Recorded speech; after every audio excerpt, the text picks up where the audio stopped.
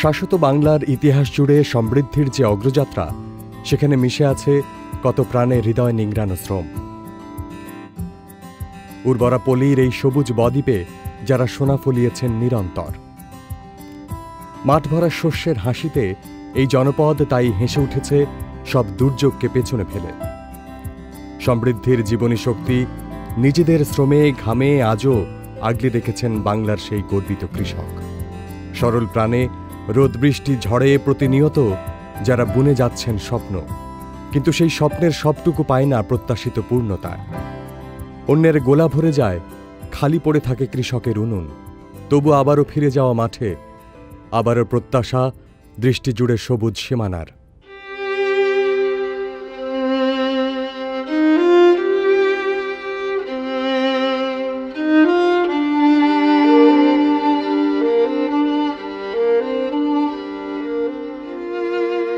কিন্তু দৃষ্টি যখন ঢেকে যায় আধারে, আকমল হোসেন যেতে পারেন না মাঠে।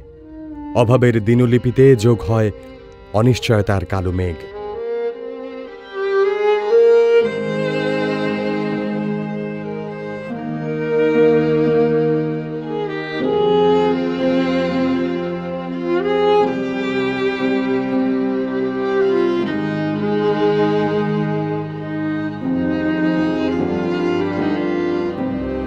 রংপুরের মিঠাপুকুরের উত্তর সদুরপাড়া গ্রাম।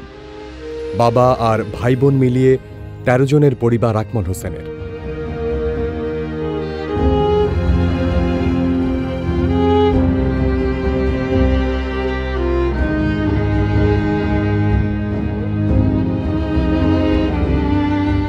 স্ত্রী, তিন মেয়ে আর এক ছেলে নিয়ে এখানেই আলাদা সংসার তার।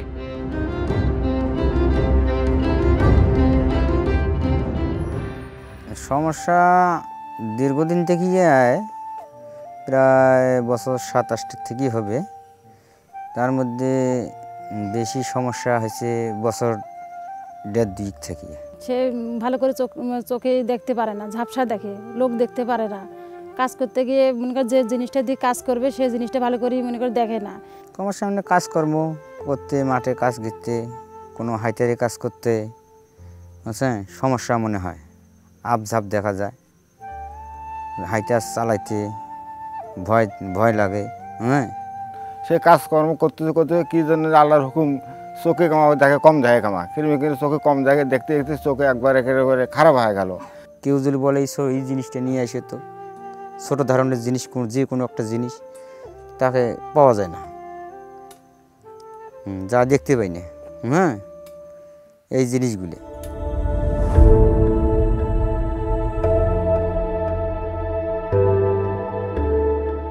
লেখাপড়া করা হয়নি, তাই দিনমজুরি করেই চলে জীবন। যেদিন কাজ থাকে, সেদিন অভাবের সংসারে খাবারের ব্যবস্থা হয়।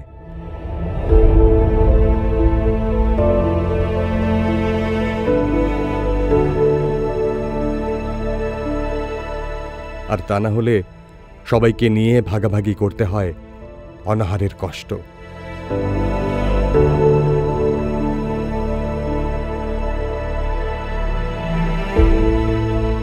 কাজ করতে গেলে কয় কি এই কাজ পারিস না এই কাজ পারিস না হ্যাঁ? ছোট জিনিস দেখেন না কাছে থাকলেও দেখেন না হ্যাঁ? যেহেতু হাইতারে কাজ করি, গাছের কাজ করি হ্যাঁ? জমির কাজ করি, এলে করতে অনেক সমস্যা হয়। পরে দেখি নিজে নিজেই দেখি, হয়, আমি তার চোখেই দেখি না। তো দেখার চেষ্টা করি খুব দেখা যায় না। দেখতে পাই না। আমার ছেলে আকমল। আকমল তার চোখের সমস্যা। অনেক তার দুঃখ কষ্ট করিয়ে জীবন নির্বাহ করতেছে। বাচ্চার ঘরে অসুখ বেসুখ এগুলো নানান চিন্তা ভাবনা। ওগুলো চিকিৎসা করি, নিজে চিকিৎসা করি, এটা প্রকাশ করি নেই তার পরিবারে, আমার পরিবারের সহকারে এটা কোনো প্রকাশ করিনি। উমার জীবন বাসা দুষ্কর বাজি গেছে আর আমারটা কেমন করি কই? হ্যাঁ? এইটাই নিয়েটা অনেক। থাকতে থাকতে যখন নিজেই এখন বুঝতেছি এখন নিজেই তো নিজেরই তো সমস্যা হয়ে গেতেছে। ও মঠটা চেয়ে আমার নিজের নিজেরটাই বড় আসতেছে এখন। যেদিন কাজ কাম চলবে সেদিন চারটে ভাত পায় আর যেদিন কাম কাজ না চলে সেদিন ভাতও পাই না। ওই উপোস থাকাই না আগে তবুও শ্রমের সবটুকু দিয়ে কখনো অন্যের মাঠে অথবা গৃহস্থলী কাজ করে দিন শেষে কুড়ে ঘরে ফেরা সন্তানের হাসিমুখ দেখার আশায়। কিন্তু আকমল হোসেন এখন আর কারও মুখই দেখতে পান না। আর কোনো জিনিস ভুলে গেলে মনে করো যদি ছোটো হয় সে চোখে দেখে না, দেখে দেওয়া লাগে। এরকমভাবে মনে করো একদিন সে গাছে উঠাইয়া কা- কাঠ কাটতে গিয়ে মনে করো সু- কাঁচাটাকে পা দেওয়ার ইয়েতে শুকানটাকে পা দিয়ে সে গাছ থেকে পড়ে যায়। পড়ে যাইয়া হাটটা ভাঙ্গি গেছিল। ভাঙ্গি যা মাছ ছয়েক মাছ ছয়েক বসে থাকিয়া সংসারের অনেকে ঘাটতি আসিকে যেটা আসিল গরু বাছু ছাগল সবগুলো বিক্রয় করিয়া বসে চিকি- হাতে চিকিৎসার খাওয়া দাওয়ায় চলে গেছি। কাজ থেকে পড়ে যায় পুরো একটা হাত ভাঙি গেল। ভাঙি যাওয়ার পর থাকি যে কাজকর্ম করি খাবে সেটা বুদ্ধি নাই। যে নিজের জায়গা জমি সেভাবে সেরকম নাই। যে শ্বশুরের আর্থিক অবস্থা সেরকম নাই, বাপেরও সেরকম আর্থিক অবস্থা নাই। যে এখন বর্তমান চলাফেরা তার খুব মনে কর সমস্যা। এখন বাচ্চা কষা নিয়ে কী হবে, মানুষ করবে সেই এক চিন্তাধারা, এক সবার মনে কর আমারও সেই রকম অবস্থা সেই রকম রেখে দেবো, সেটাও কোনো সেই রকম নাই। এই বাচ্চা কষা নিয়ে চলাফেরা করা, এখন সে চোখের যে কী করবে অপারেশন কীভাবে করে, সে টাকা নাই। তা আমরা চাইলেও টাকার কাজে নিতে পারি না, সে আগের মতো কাজ করতে পারে না। চোখের সমস্যা, রোদ রোদ উঠলে আমরা যদি জমি রেটে দিই, অনেক সময় ধান উপরে ফেলে। আবার ধান কাটতে গেলে ধান রেখে আটি বাদি ফেলে, অনেক সমস্যা। তা আমরা তো ওই কাজ ক্ষতি করি ওক নিতে পারি না। আর তাই শ্রমের বাজারে একসময় আকমল হয়ে যান মূল্যহীন। একসময় যাকে সবার আগে বায়না করত মহাজনরা তাকে এখন আর ডাকা হয় না কোনো কাজের জন্য।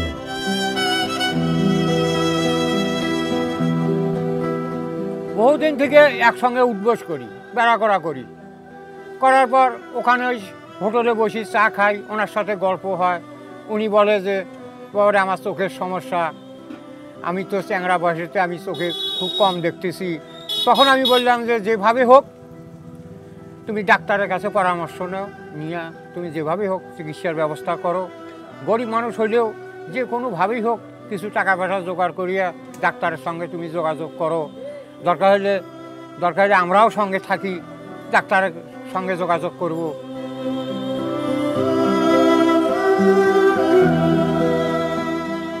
যার উপার্জনের উপর নির্ভর করত পুরো পরিবার, দৃষ্টিহীনতায় তাকেই এখন নির্ভর করতে হয় অন্যের উপর।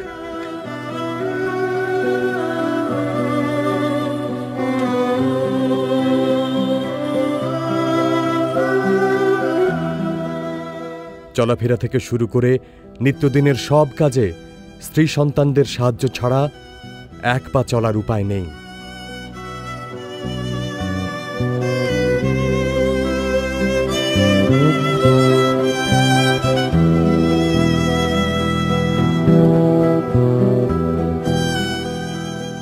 কিন্তু অভাবের দহন এসব মানতে চায় না কিছুই।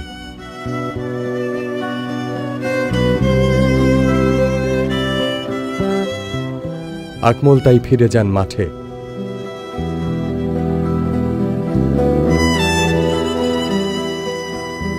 কিন্তু ফিরে আসেন অসহায়ত্ব নিয়ে। চোখের চিকিৎসা করানোর মতো ন্যূনতম সামর্থ্য না থাকায় অনিশ্চিত জীবনকে সঁপে দেন ভাগ্যের হাতে। মানুষ আর কাজ করে মনে না। যাই কাজ কাজ করি, তাই সেই লোকেরা কয় বাড়ি, আমাকে না কয় বাড়ি বাড়ি আসি, কয় এই রকম সমস্যা। ওই চোখে দেখে না। হ্যাঁ আমি যেটা পাই ওইটা দিয়ে কোনো রকম করে চেষ্টা করি করতে চাই। ওরা বাড়িতে এসে কয়া দেয়। বাড়িতে এসে আমার বাড়িওয়ালি স্ত্রী, বাবা, মা, ভাই, এরা সবাই কয়, না, ওই চোখে দেখে না। তার সমস্যা হলে আমাদের মনে করো খুব কষ্ট হবে। আমার বাচ্চা নিয়ে চার বাচ্চা, কীভাবে আমি মানুষ করব, কীভাবে তাদের ইয়ে করাবো সেটা সমস্যা হবে। সে চলবে কীভাবে, এক সমস্যা। এখন এটা নিয়ে চিন্তাধারার মধ্যে খুব আছি।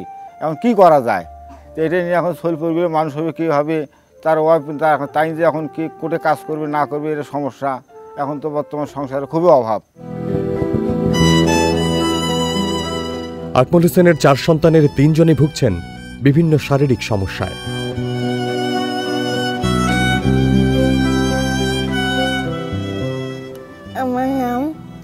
মুসাম্ম আকি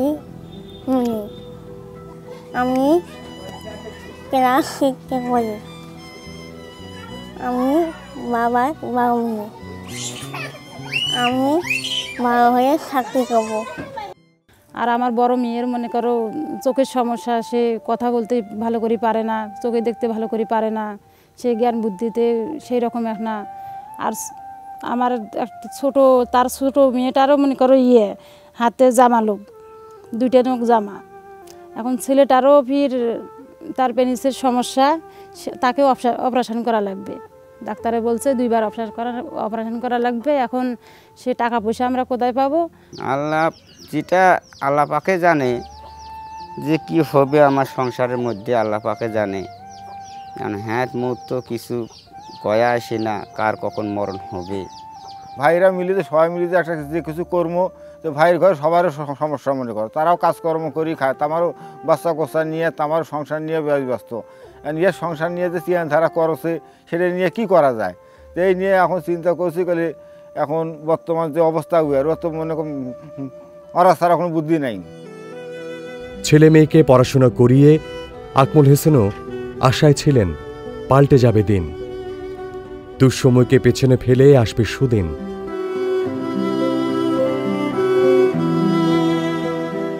কিন্তু আকমল হোসেনের দৃষ্টিহীনতায় সমস্যা যেন রূপ নেয় সংকটে।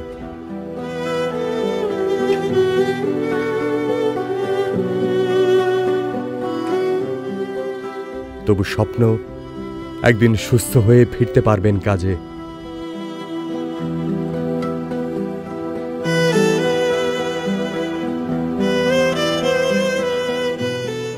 আবারও দেখতে পাবেন স্ত্রী আর প্রিয় সন্তানদের।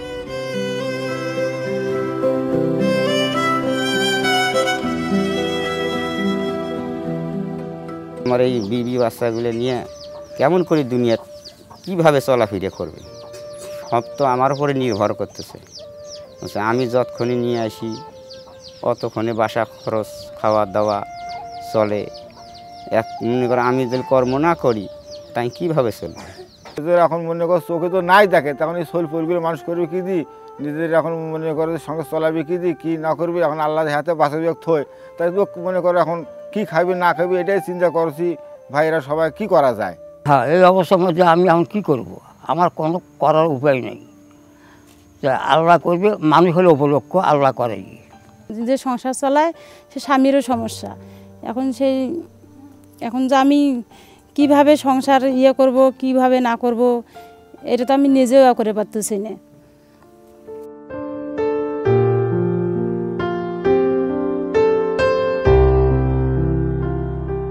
যে কোনো মাধ্যমে হোক, সরকারি মাধ্যমে হোক চা মাঙ্গি হোক, সল করি হোক না, ভালো হলো।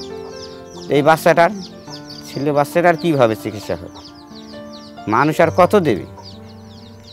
মানুষ তার কত দেবে?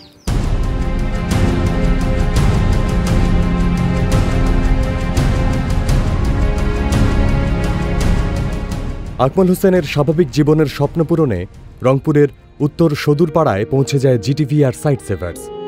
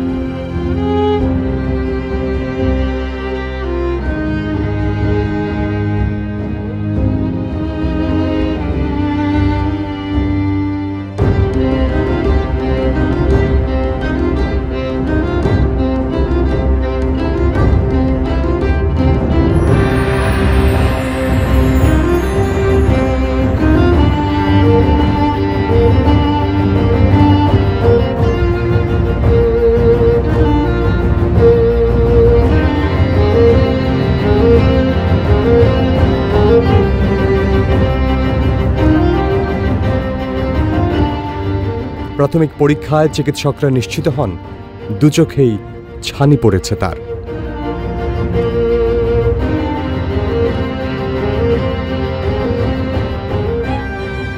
করতে হবে অপারেশন, তাই গন্তব্য রংপুরের community eye care and research centre.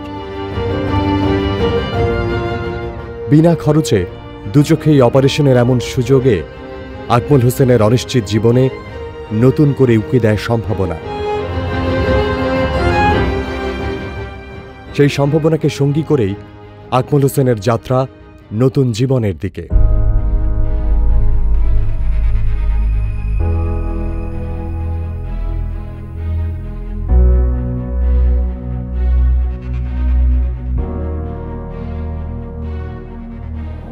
রংপুরের community eye care and research সেন্টারে পৌঁছানোর পর আরও এক দফা পরীক্ষা নিরীক্ষা শেষে অপারেশনের দিন নির্ধারিত হয়ে যায় আকমল হোসেনের।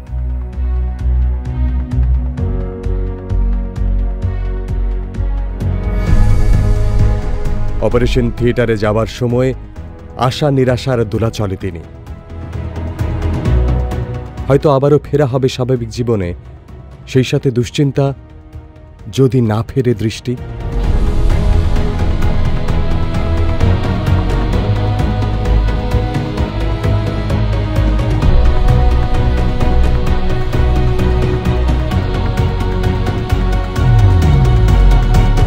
তবে সব উৎকণ্ঠা আর উদ্বেগকে পেছনে ফেলে প্রথম দফায় সফলভাবেই শেষ হয় অপারেশন।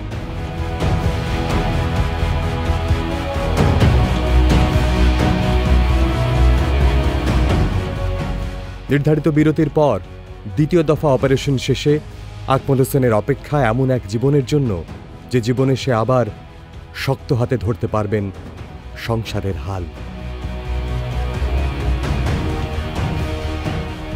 তার ছানিটা এত পরিমাণ বেড়ে গিয়েছিল যে সে কিছুই দেখতে পারতো না। অপারেশনের শুরুতে আমরা যেটা করলাম ব্লক রুমে লোকাল অ্যানাস্থেটিক দিয়ে চোখের এরিয়াটাকে আমরা অবশ করে দিলাম। অবাস করার পর ওটি টেবিলে নিয়ে এসে ছোটো ইনসিশন দিয়ে, মাত্র সিক্স মিলিমিটার ইনসিশন দিয়ে একটা টানেল করে আমরা ভিতরের যে অপেক লেন্স যে অপাসিটি থাকার কারণে চোখের ভিতরে আলো ঢোকে নাই সেই লেন্সটাকে বের করে নিয়ে আসলাম। এবং একটা কৃত্রিম লেন্স ভিতরে সংযোজন করলাম। কৃত্রিম লেন্স সংযোজন করার অ্যাডভান্টেজটা হলো, সুবিধা হলো তার অপেক লেন্সের ভিতর দিয়ে আগে আলো ঢোকে নেই।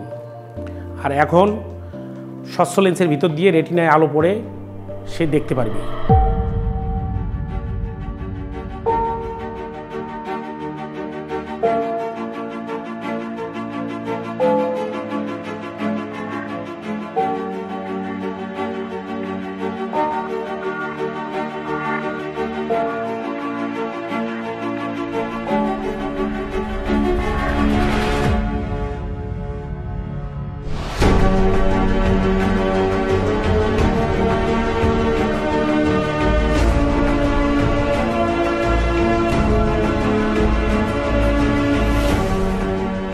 অবশেষে বাস্তবে এলো স্বপ্নের সেই মুহূর্ত।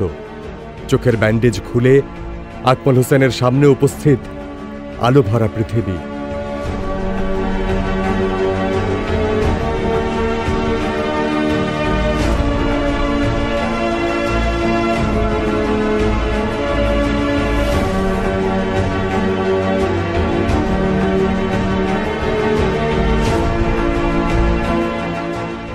যে আলোয় নিমেষেই দূর হয়ে যায় এতদিনের শঙ্কার আধার।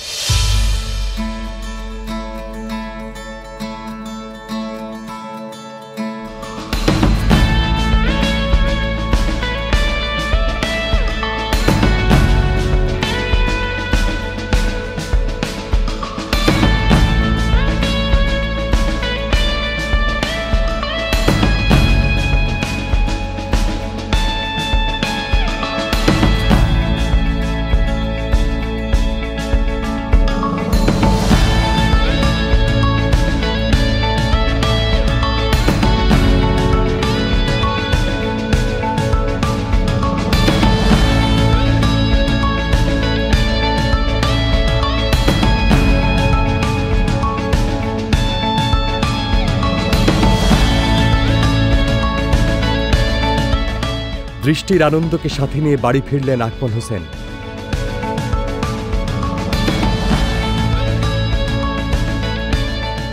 তার সাথেই ঘরে ফিরল স্বস্তি আর উচ্ছ্বাস। এতদিনের ক্ষুধার্ত চোখ প্রাণ ভরে দেখল প্রিয় মানুষদের।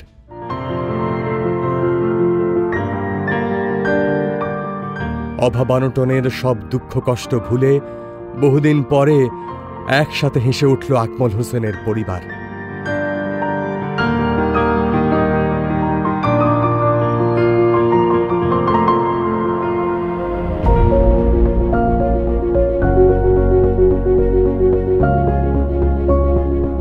দৃষ্টি জীবন পাল্টে দেয়। সেই পাল্টে দেয়া জীবনে আকমল হোসেন হেঁটে বেড়ান দারুণ আত্মবিশ্বাসে।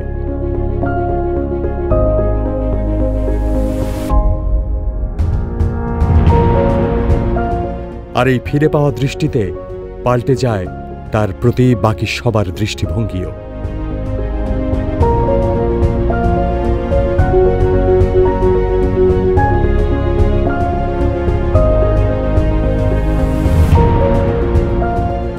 অবারিত শস্যের মাঠে আকমল হোসেন আবারও মিশে যান সবুজের সাথে।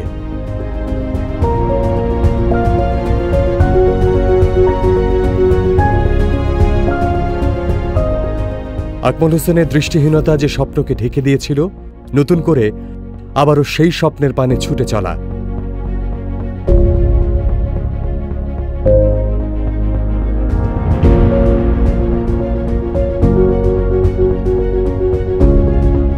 সন্তানরা পড়াশোনা করতে পারবে, হবে মানুষের মতো মানুষ। নতুন দিনের আশায় সুস্থ আকমল হোসেন তাই ছুটে চলেন দারুণ উৎসাহে। স্বপ্নের দিকে এই ছুটে চলা অব্যাহত থাকুক।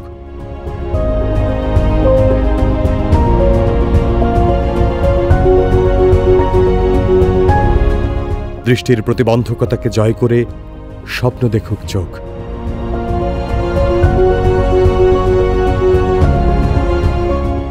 সাথে আছে জিটিভি সাইট সেভার্স এবং স্ট্যান্ডার্ড চার্টার্ড ব্যাংক।